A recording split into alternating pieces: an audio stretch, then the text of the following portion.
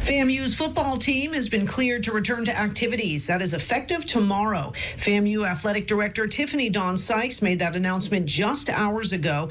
The team was suspended after a video that was partially filmed in the university's locker room.